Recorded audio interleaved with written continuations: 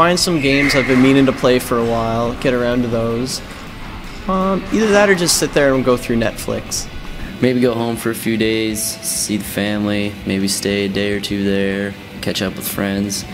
Work, because I'm in college and I have $3, so I'm gonna work.